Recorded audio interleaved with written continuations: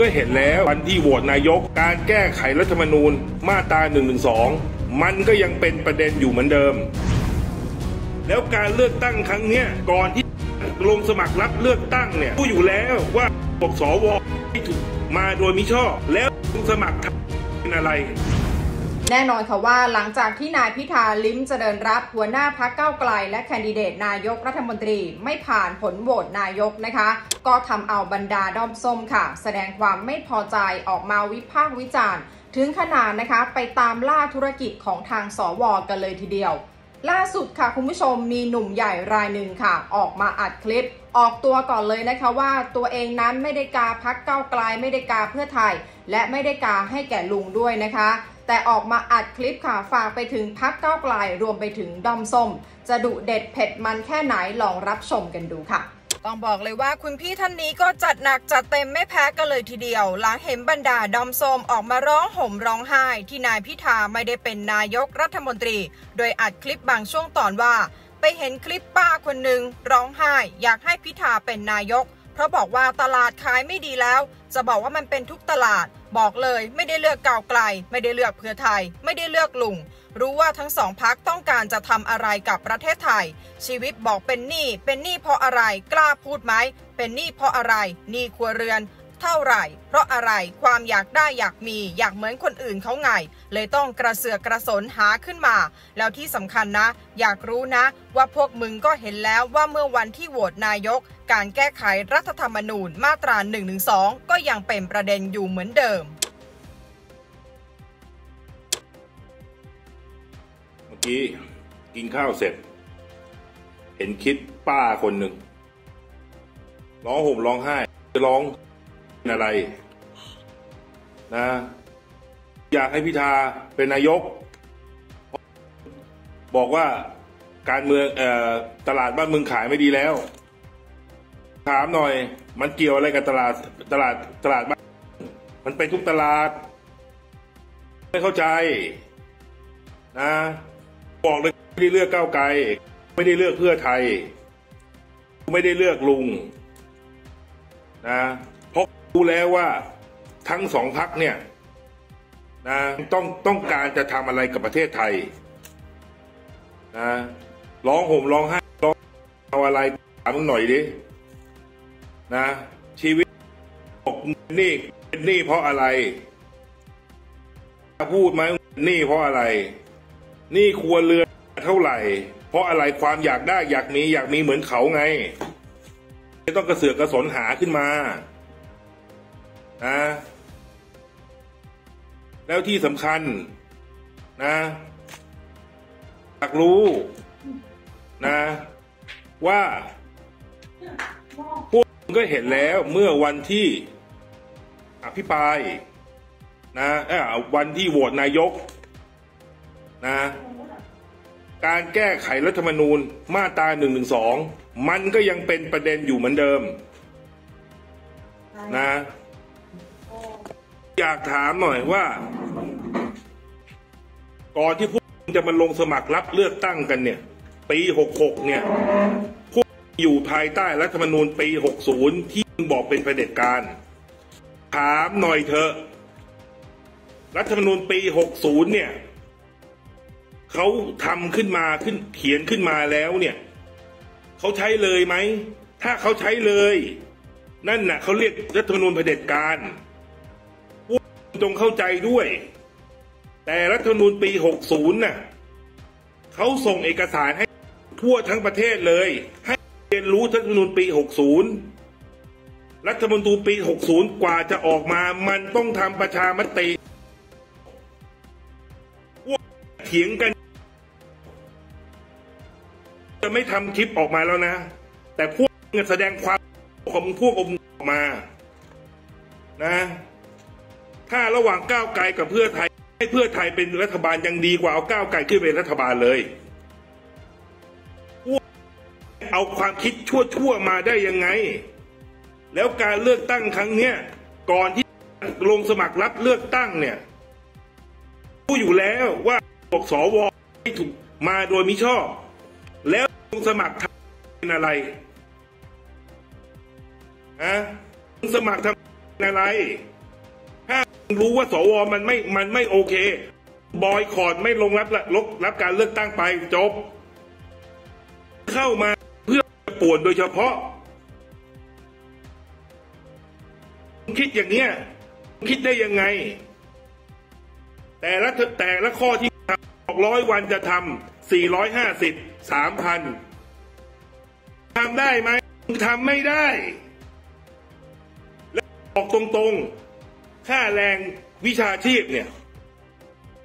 เขาได้เกินหมดแล้ว ใครคนตัวไหนที่มาห้ามามาบอกว่าอยากได้สี่ร้อยห้าสิบเงินเดือนสองหมื่นเนี่ย แล้วถอยลงสี่ร้อยห้าสิบไหมถามแค่นี้แหละ มีใครยอมมั่งนะถ้าจะเถียงเอาความรู้มาเถียงถ้าในเมื่อสวชุดนี้ ที่มาจากรัฐธรรมนูญปี 60 มาด้วยมิชอบ แล้วเข้าไปสมัครรับเลือกตั้งทำอะไร ก่อนที่จะไปแสดงความคิดเห็น บนเฟซบุ๊กบนทิกต็อกนะคิดก่อน ก่อนที่จะพูดลุงตู่ก็ไม่ได้ชอบ แต่เห็นผลงานที่เขาทำพูดให้เห็นเพราะใจบอด อยากได้ นายก มีอนาคตก้าวไกลก้าวหน้า มีความคิดก้าวหน้า แต่การกระทำมันทำให้ล้าหลังคนอะไรโทรคุยกับผีบอกชอบประชาธิปไตย อย่างสอสอชาดาเขาพูดก็ถูก ฝั่งฝั่งเดียวเหรอที่มาจากการเลือกตั้ง แล้วฝั่งตรงข้ามไม่ได้มาจากการเลือกตั้งเหรอบอกมึงชอบประชาธิปไตยแต่บูชาเผด็จการ ปีดีพนมยงเนี่ยนะศึกษาก่อนก่อน จะมาเถียง เพราะพวกไม่มีความรู้ไง ความรู้น้อยอยากจะบอกว่าความรู้พวกมี แต่พวกไม่ใช้เพราะขี้เกียจอยากให้คนเอาป้อนเอาคนอื่นอาป้อนข้อมูลไปให้ และคนที่เป็นเพื่อนในเฟซบุ๊กแล้วถ้าเห็นเฟซเห็นคอมไอเห็นวิดีโอนี้นะ แล้วรับไม่ได้นะ เลิกกูไปเลย ไม่เป็นไร เพราะการเลือกตั้งครั้งที่แล้วก็ลบเพื่อนเป็นสิบกว่าคน ครั้งนี้จะลบเพื่อนอีกสิบกว่าคนก็ไม่เสียหาย ไม่จำเป็นเลือกคนที่เขาเข้าใจทางการเมือง เห็นต่างไม่ต้องมายุ่งก็ได้ เห็นต่างก็ไม่เคยยุ่ง แต่ถ้าเอาจะความความความคิดของมึง ที่ไม่ตรงมาเสนอ ให้เคยให้ ไม่ต้องหัวกูมีห้าสิบแล้ว จะไม่พูดแล้วนะคลิปแบบเนี้ย แต่คนไม่ได้ แล้วคลิปนี้นะ เดี๋ยวมีคลิปต่อคลิปหน้าว่าพูดถึงเรื่อง สิ่งที่พี่ทามันกำลังจะทำทำไว้เลยนะ เมื่อกี้กินข้าวเสร็จ เห็นคลิปป้าคนหนึ่งร้องห่มร้องไห้ร้องอะไร นะ อยากให้พิธาเป็นนายก บอกว่าการเมืองออตลาดบ้านเมืองขายไม่ดีแล้ว ถามหน่อย มันเกี่ยวอะไรกับตลาดตลาดตลาดบ้านมันเป็นทุกตลาด ไม่เข้าใจ นะ บอกเลยไม่ได้เลือกก้าวไกล ไม่ได้เลือกเพื่อไทย ไม่ได้เลือกลุง นะเพราะรู้แล้วว่าทั้งสองพักเนี่ย นะ ต้องต้องการจะทำอะไรกับประเทศไทย นะร้องห่มร้องไห้ร้องเอาอะไรถามหน่อยดิ นะ ชีวิตบอกหนี่เป็นหนี้เพราะอะไรพูดไหมหนี้เพราะอะไรหนี้ครัวเรือนเท่าไหร่ เพราะอะไรความอยากได้อยากมีอยากมีเหมือนเขาไงไม่ต้องกระเสือกกระสนหาขึ้นมานะแล้วที่สำคัญนะอยากรู้นะว่า ก็เห็นแล้วเมื่อวันที่อภิปรายนะวันที่โหวตนายกนะการแก้ไขรัฐธรรมนูญมาตราหนึ่งหนึ่งสองมันก็ยังเป็นประเด็นอยู่เหมือนเดิมนะอยากถามหน่อยว่า ก่อนที่พวกจะมาลงสมัครรับเลือกตั้งกันเนี่ย ปีหกหกเนี่ย อยู่ภายใต้รัฐธรรมนูญปีหกศูนย์ที่บอกเป็นเผด็จการ ถามหน่อยเถอะ รัฐธรรมนูญปีหกศูนย์เนี่ยเขาทำขึ้นมาขึ้นเขียนขึ้นมาแล้วเนี่ยเขาใช้เลยไหม ถ้าเขาใช้เลย นั่นน่ะเขาเรียกรัฐธรรมนูญเผด็จการพวกคุณจงเข้าใจด้วย แต่รัฐธรรมนูญปี 60 น่ะเขาส่งเอกสารให้ทั่วทั้งประเทศเลยให้ เรียนรู้รัฐธรรมนูญปี 60 รัฐธรรมนูญปี 60 กว่าจะออกมา มันต้องทำประชามติพวกเถียงกัน จะไม่ทำคลิปออกมาแล้วนะ แต่พวกแสดงความของพวกอมอกมา ระหว่างก้าวไกลกับเพื่อไทย ให้เพื่อไทยเป็นรัฐบาลยังดีกว่าเอาก้าวไกลขึ้นมาเป็นรัฐบาล เอาความคิดชั่วๆ มาได้ย่างไง และการเลือกตั้งครั้งนี้ก่อนที่จะลงสมัครรับเลือกตั้ง บอกว่าสวมาโดยมิชอบ และลงสมัครทำส้นจุดๆๆทำอะไร ถ้าระหว่างก้าวไกลกับเพื่อไทย ให้เพื่อไทยเป็นรัฐบาลยังดีกว่าเอาก้าวไกลขึ้นเป็นรัฐบาลเลยเอาความคิดชั่วๆมาได้ยังไง แล้วการเลือกตั้งครั้งเนี้ยก่อนที่ลงสมัครรับเลือกตั้งเนี่ยรู้อยู่แล้วว่าบอกสวไม่ถูกมาโดยมิชอบ งสมัครทำเป็นอะไร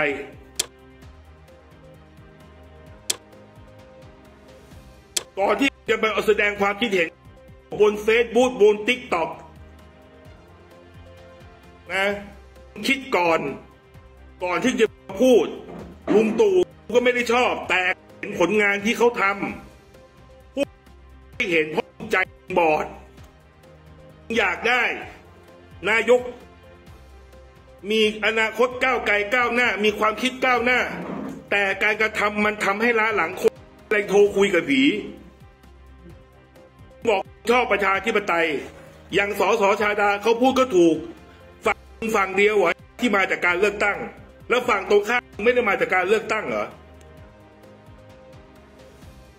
บอกมึงชอบประชาธิปไตยแต่บูชาเผด็จการ ปีดีพนมยงค์เนี่ยนะศึกษาก่อนก่อน จะมาเถียง เพราะพวกไม่มีความรู้ไง ความรู้น้อยอยากจะบอกว่าความรู้พวกมี แต่พวกไม่ใช้เพราะขี้เกียจอยากให้คนเอาป้อนเอาคนอื่นอะป้อนข้อมูลไปให้ และคนที่เป็นเพื่อนในเฟซบุ๊กแล้วถ้าเห็นเฟซเห็น comment เห็นวิดีโอนี้นะ แล้วรับไม่ได้นะ เลิกกูไปเลย ไม่เป็นไร เพราะการเลือกตั้งครั้งที่แล้วก็ลบเพื่อนเป็นสิบกว่าคน ครั้งนี้จะลบเพื่อนอีกสิบกว่าคนก็ไม่เสียหาย ไม่จำเป็นเลือกคนที่เขาเข้าใจทางการเมือง เห็นต่างไม่ต้องมายุ่งกับได้ เห็นต่างก็ไม่เคยยุ่ง แต่ถ้าเอาจะความความความคิดของมึง ที่ไม่ตรงมาเสนอ ให้เคยให้ไม่ต้องหูมีห้าสิบแล้ว จะไม่พูดแล้วนะคลิปแบบเนี้ย แต่คนไม่ได้ แล้วคลิปนี้นะ เดี๋ยวมีคลิปต่อคลิปหน้าว่าพูดถึงเรื่อง สิ่งที่พิธามันกำลังจะทำเป็นอีกหนึ่งเสียงของประชาชนกับความรู้สึกที่เกิดขึ้นณตอนนี้นะคะ ซึ่งหลังจากนี้ค่ะ คนไทยก็คงต้องรอติดตามในเรื่องผลโหวตนายกรัฐมนตรีในวันที่ 19 กรกฎาคมนี้นะคะ ว่าทิศทางทางด้านการเมืองต่อจากนี้จะเป็นอย่างไรต่อไป ซึ่งทางทีมข่าว Stalker นะคะ ก็จะเกาะติดประเด็นดังกล่าว มาฝากคุณผู้ชมกันค่ะ ไม่พลาดข่าวสำคัญระดับ top ได้ง่ายๆ ทุกที่ทุกเวลากับแอปพลิเคชัน Top News รับการแจ้งเตือนข่าวสารใหม่ แชทคุยหน้าไลฟ์ได้ ดาวน์โหลดได้แล้ววันนี้ทั้ง App Store และ Play Store